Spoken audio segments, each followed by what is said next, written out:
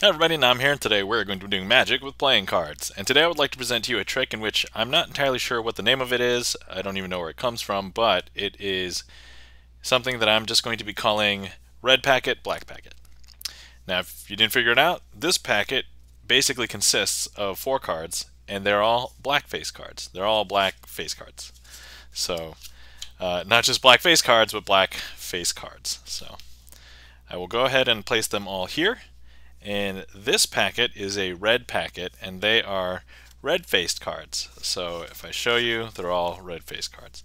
Now if I take one of these and I swap it out for one of those, I should now have three red face cards and one black one, right? But look, if I do a magical snap, believe it or not, that black face card is going to be gone.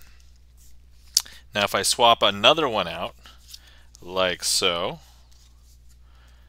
and once again, I'm going to do a magical snap. Believe it or not, that's actually going to make the black face card disappear as well.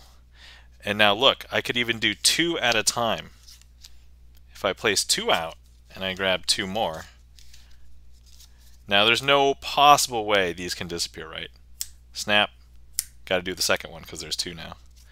All of these are going to appear as though they're all red face cards. But you're probably thinking, oh, I know where they went. They're probably here.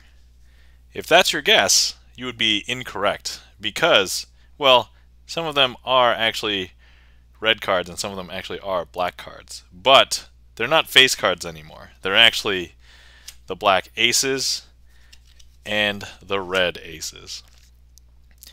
And that is my handling and performance of a trick that I'm calling red packet, black packet.